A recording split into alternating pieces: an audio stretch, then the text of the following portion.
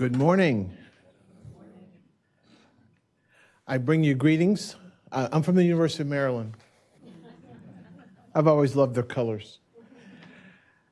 University of Maryland School of Public Health in College Park. I bring you greetings from our dean, Boris Lushniak, and one of your colleagues, Cynthia Baur, who we recruited to the University of Maryland in College Park.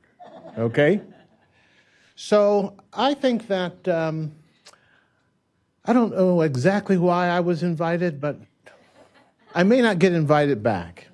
So I'm just going to tell the truth here today because I think that's what we need to do. We're missing the truth telling. And in the context of the work that I do, where race is another factor that overlays the complexities of all the things we're talking about, I think it's important that we bring that into this room. Now, this image was developed uh, by a undergrad during the 50 year anniversary of the anniversary of the civil rights movement. And I keep using it because my undergrad class gets younger and younger. My entering class was born in 2010. Wait, no, no.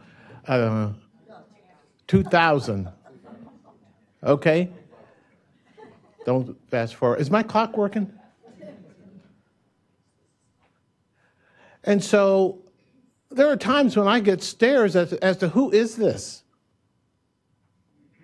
We should not assume that the history is being taught. We should not assume that our international students get American history.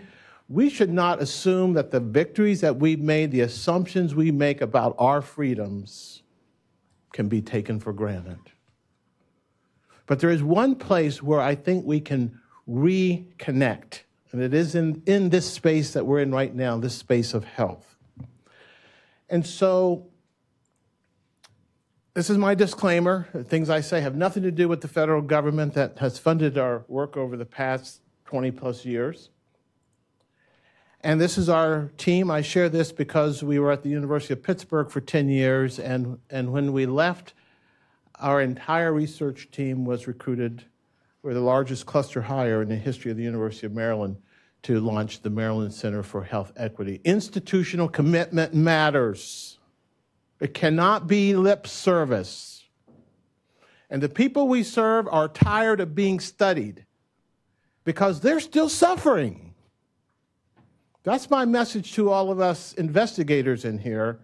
It's time to start taking action. So the social context matters. Dr. Burney talked about social determinants of health. That's the key. Health literacy should not be talked about in moving forward without being talked about in the context of the social determinants of health. Do you know how many physicians and providers my parents interacted with when they were going through their illness and decline? Many of them were age 65 and over.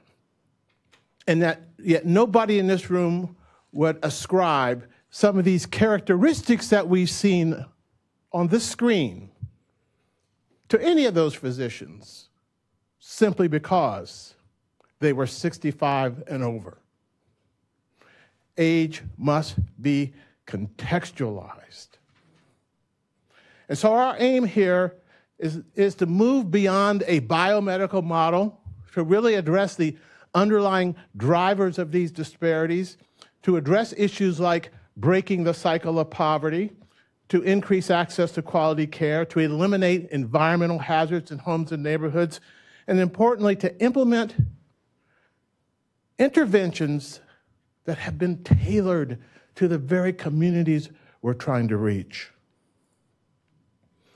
Now, I'm going to take a risk here and take you into a community.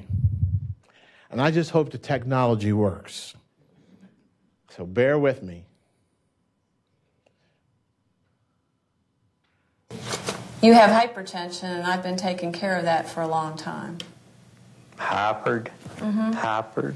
Like you're hyper? Mm-hmm. What does being hyper mean to you? That's. We'll back okay. up just a little bit. Listen I would. Um, give Tylenol, normally Motrin, because that's what my doctor recommended. How old is your daughter? She is four. She's four, okay. I would um, give her the um, four to five, a, ta- a tablespoon and a half. I wanted to pause it there. I would give my daughter four to five tablespoons when it should be 1.5 teaspoons. One caps, one capsule. That's right, uh, one capsule, One capsule. I don't know what this uh, is. That's yeah, Twice? tw- twice, twice daily. okay? So Okay. what, so how would you take this? When I see it's, it's not on, I tell you how to take it. It say take it twice daily, but it don't say what time to take it. Do you know what hypertension means if I asked you what that was? Because when I look at this, I think, well, maybe you have hypertension and I've been taking care of that for a long time. Hypered. Hypered. Like you're hyper? What does being hyper mean to you? That's that's um, where you can't be still. You always got to be doing something. Do you I? know. Do you think I think you're hyper and have hypertension? I, I don't know. I, that's what I consider it. Okay. It being, you know. Okay. But you know you have high blood pressure. Mm-hmm. Okay. But hypertension doesn't mean the same to you. Mm-hmm. So if I ask you if you have hypertension, you're going to just think I think you're jumping around on a chair or something like that, something different. Just being hypered, you know. Okay. All right. Well, I haven't done a very good job teaching you what hypertension is because I. I wanted to stop right there. A doctor who admitted a mistake. Does it matter that it was a woman? Maybe. So, my, so if you can get me back to the slide deck. So it is a, you know, we're looking 20 years ago. This was produced by the American Medical Association. Guess what? It's still happening today. We should be ashamed. We should be sad that so much of the research that has been accumulated has not been implemented. And I want to know why. And I'm saying that because, Bernie, I think I'm around powerful people, okay? I want to know why. And I want to see some anger in this room that it hasn't been done. And before, like I said, we, we go to cognitive decline, because as soon as I walk in the room and see my age, I guess I'm on the con- cognitive decline scale. We better look at empathy decline. There's something wrong in our system when we have lost the caring part of caregiving. And we're going to be more likely to fix that than any of these neurological problems we're talking about. So, let's see if we can agree on a definition. We talk about health disparity. It is not simply a difference in incidence, prevalence. A health disparity, according to Healthy People 2020, assuming they haven't gone and changed the websites. A health disparity is a particular type of difference that is closely linked to social, economic, and environmental disadvantage. Dr. Bernie was on target. It is a difference caused by something systematic discrimination, lack of access, not because they want it, lack of access because they've been redlined, lack of access because they live in racially segregated neighborhoods. That's what a health disparity is. And health equity is the highest attainment of health achievable in a society. And it is unfortunate that that highest attainable level achievable in the United States is not the best in the world. We should be ashamed about that too. So history matters.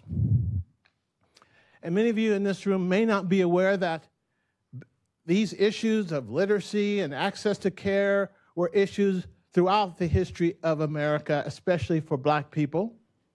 And it was Booker T. Washington recognizing that black people had to take charge of their own health.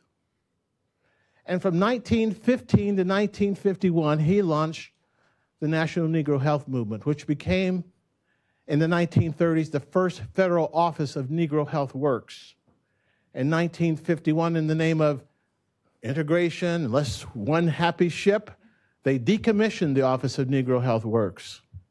Fast forward to 1985, Margaret Heckler, Secretary Task Force report, and once again, we created an Office of Minority Health with almost amnesia to all the success of the Negro Health Movement, where lots of people couldn't read. They were coming out of slavery, coming through Jim Crow. But it worked because of the creative imagination that they used to engage this population this should be harvested for what we should be doing today. Bernie, I believe that underneath it all is the issue of trust. You raised the issue of the flu. I can't walk into a grocery store without getting offered a free flu shot. But why don't we have the uptake? Misinformation and lack of trust in our profession. That too we should be ashamed of. We have a solution that people are not uptaking because they don't trust it. In the black experience, these books represent the history of abuse in the name of science, of abuse in the name, I'm here to help you. They remember these things. It's passed on by word of mouth. And a grandmother can have more credibility than a physician or a psychologist. The Tuskegee Syphilis Study is another example of, again, what we can do when we want to None of these men could read, yet they kept them in a research study for 40 years. When you look at how they did that, they used very sophisticated plain language methods. Not to empower those men, but to get them to do what the researchers wanted them to do. It was never a secret. They learned the cues of the community and they manipulated them to get what they wanted those same methods can be used for good. It is now part of the cultural memory in many black communities. And if the providers have no idea, they're missing a major part of that caring and communication. One of our products in our, from the National Bioethics Research Initiative is Building Trust. This is an online interactive website I encourage you uh, to visit. Boy, that clock's moving fast. And so let me go to what I suggest are some of the solutions. And here's what it looks like fourth generation disparities research. When we, over the course of this day, as you hear the different studies, you might be able to do this. First generation research documents the problem. Have we been documenting the problem of health literacy? Second generation dispersed explains the reasons why. Well, we got cognitive decline on the table, we have poverty on the table, we have a number of reasons. You can do this and never leave your office. Just need a good data set. Third generation provides solutions. Dr. Wolf just sat here and told you the work they did at Geisinger that came up with solutions. When we get a chance to quiz, we'll find out how many hospital systems around the country have now implemented it as their standard of practice. I would suggest we will be surprised how few. So our science lives in our journals and is not being implemented. And so we call for a fourth generation of disparities research. You think about it as a fourth generation of health literacy research that's tied to social determinants, that recognizes the role that race plays and poverty. And we build off of the previous generations to do what? To take action. And that's to restore our own credibility in the very communities that have lost trust in us. Here's what some of it looks like from the world that I work in. In, 19, in 2001, the federal government launched a campaign called Take a Loved One to the Doctor Day. Raise your hand if you've heard of it. It was a very expensive campaign. Great materials, good website, but the in the communities that we work, the people didn't have doctors. But we liked the idea. So we turned it on its head and we called it Take a Health Professional to the People. And what we did was to take physicians, nurses, pharmacists, the whole array of us out of the hospital and we put them in black barbershops and beauty salons. And in this scene right here, you see, a pharmacist talking with a young man getting his hair cut who most likely will not see a doctor unless he walks into an emergency room. Now, Bernie, I have to tell you that no self respecting black barber would ever say, I'll get you in and out in 15 minutes. Steve Rush and I both would be in there for half a day, catching up on the sports, talking to people, getting caught up.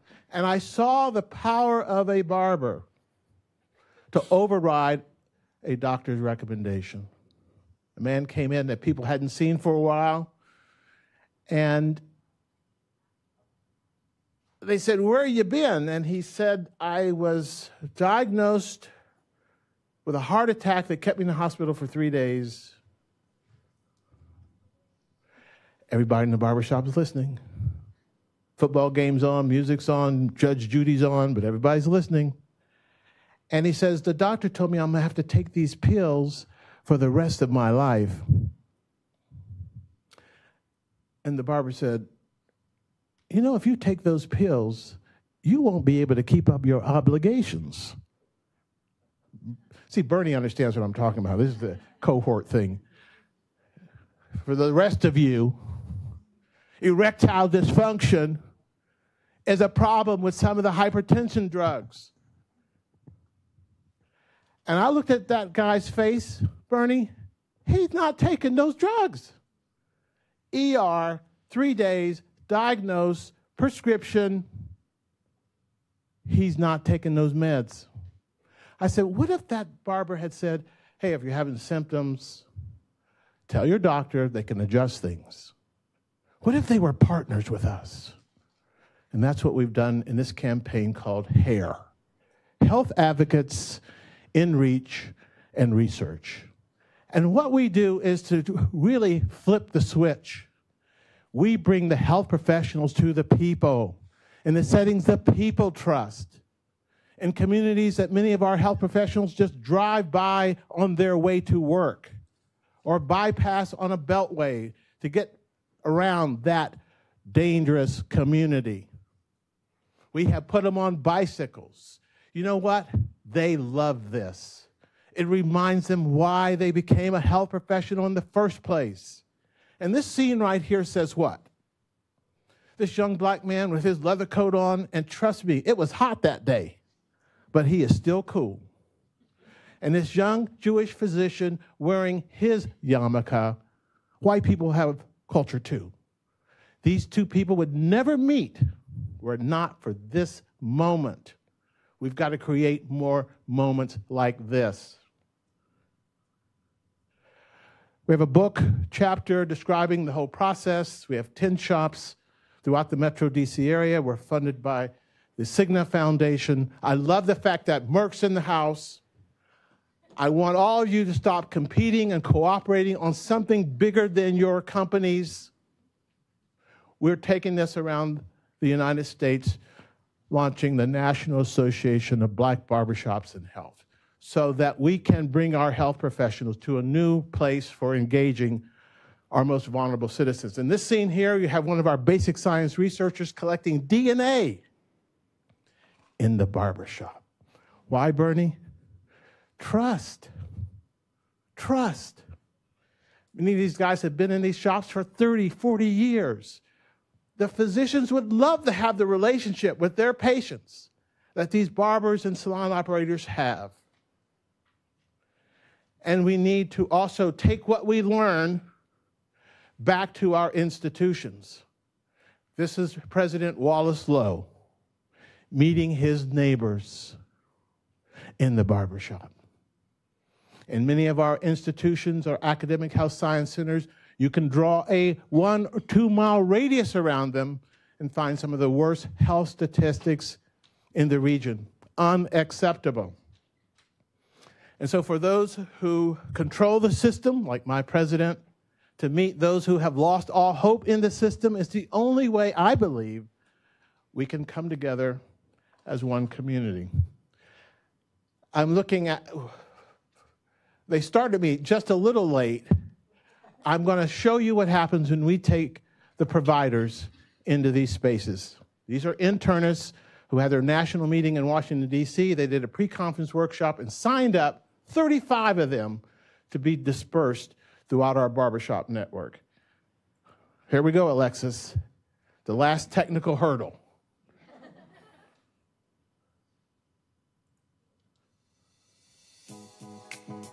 Can you bring the sound up?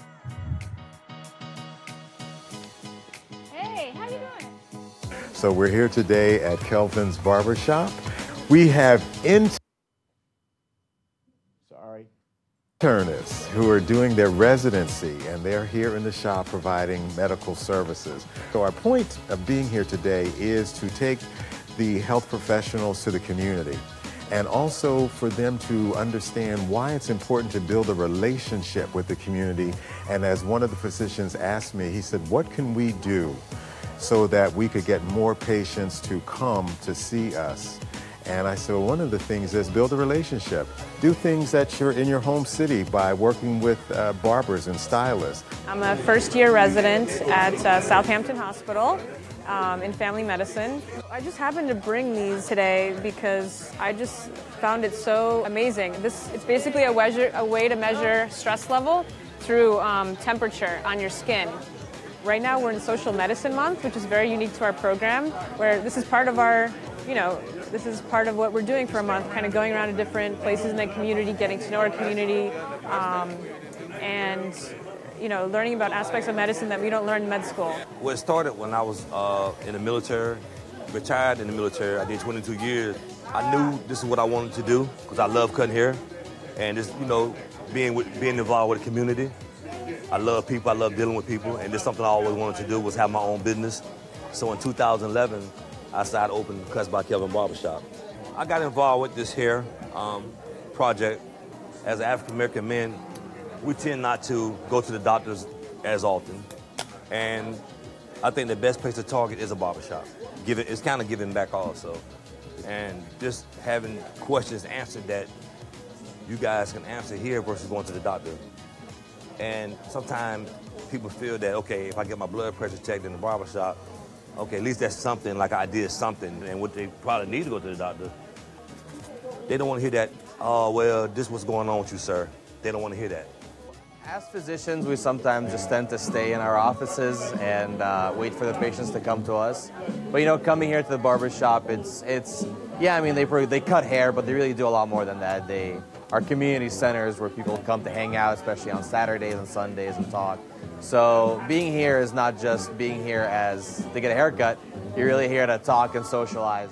Being a part of this program really helps to not equalize, but attempt to maybe balance out that inequality of healthcare availability when you're reaching out more people in different places, places that might not have the same concentration of physicians. It really helps to elevate the level of healthcare in the country. I'm out of time. The discussion, questions, maybe we can pick it back up again. Thank you very much.